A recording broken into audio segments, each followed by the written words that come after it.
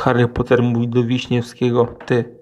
Ja się spuściłem raz, a Wiśniewski mówi, ty, nie moja wina, że miałem sześciopaka.